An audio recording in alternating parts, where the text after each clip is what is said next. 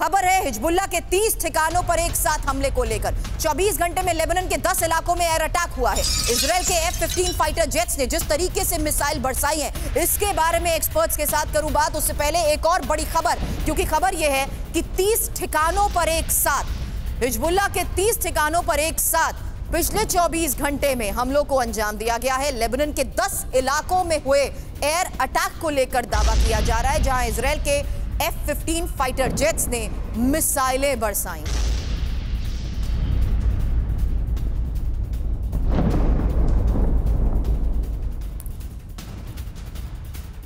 हालाँकि इन दावों के बीच खबर यह भी है कि लेबनन में गाजा जैसा बड़ा हमला हुआ है और लेबनन में भयंकर बमबारी इसराइल की तरफ़ से हो रही है। इसराइली एयर स्ट्राइक से दहशत में लोग तो हैं ही। यही वजह है कि इन हमलों को अंजाम देने से पहले भी लोगों को ये साफ़ तौर पर इलाके खाली करने को कह दिया गया था। लेकिन जिन इलाकों को इस वक्त टारगेट किया जा रहा है उसमें दावा यह किया जा रहा है कि ये वेपन स्टोर और साथ ही कम्युनिकेशन सेंटर्स रहे हैं जिन्हें फ़िलहाल टारगेट किया गया है। लेबनन में भयंकर बमबारी अलग अलग लोकेशंस पर जिस लिहाज से की जा रही है वो इंपॉर्टेंट सेटलमेंट एरियाज़ हैं जहाँ से हिजबुल्ला अपने गढ़ में रहते हुए ऑपरेट करता आ रहा है।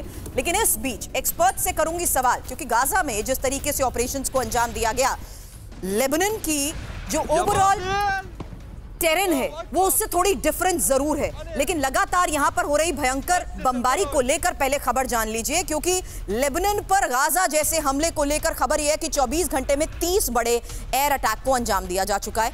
हिजबुल्ला के एक नहीं बल्कि 30 ठिकानों को तबाह करने का दावा किया जा रहा है और लेबनन के 10 इलाकों पर हमले को लेकर खबर आई है। बैरूत पर सबसे बड़ा हमला हुआ है, जहाँ पर एफ़ फिफ्टीन फाइटर जेट्स का भी इस्तेमाल हो रहा है और इसराइली मीडिया के इन दावों के तहत, प्रोफेसर राजन, समझाइए ये स्ट्रैटेजी इस एरिया और इस लोकेशन को देखते हुए क्या अब भी ये मान लिया जाए कि लेवल बाय लेवल इसराइल आगे बढ़ रहा है या ये सीमित दायरे में ही हम लोग को अंजाम देता रहेगा? देखिए सुरभि इसराइल यह मान के चल रहा है कि इस युद्ध का दायरा काफ़ी ज़्यादा बढ़ सकता है। इसराइल उसके लिए तैयार है और पूरी तरह से जो अभी सारे जो इंसेंटिव्स हैं मैं देख रहा हूँ चाहे वो नेतन्याहू का हो या फिर अमेरिका का हो या जो वहाँ पर रीजनल इंसेंटिव अभी यह है कि अभी इसराइल को इस युद्ध को बढ़ाने में फ़ायदा है। अब जानते हैं कि एक सपोर्टिंग स्टेटमेंट ट्रंप का भी आ चुका है और ट्रंप ने क्या बोला? ट्रंप ने बोला कि कि इसराइल को ईरान के न्यूक्लियर जो इंस्टॉलेशन है उसको सीधा बॉम्ब करना चाहिए। अभी तक क्यों नहीं कर रहा है? तो इस ढंग के अगर स्टेटमेंट आया तो आप क्या इसका इससे क्या मैसेज लेते हैं? इससे मैसेज यह लेते हैं कि अमेरिका का भी एक तरह से जो वहाँ का डेमोक्रेटिक पार्टी की बात नहीं करूँ लेकिन जिनके आने की संभावना बताई जा रही ट्रंप का, उनका भी सपोर्ट है। और नेतन्याहू जानते हैं कि नेतन्याहू का खुद का, अगर वहाँ पे जो सर्वाइवल है इस वाइडर एस्केलेशन पे है और इस पे विक्ट्री पे जब तक वार चलेगा एस्केलेट होता रहेगा और नेतन्याहू की वाहवाही होती रहेगी अंदर में।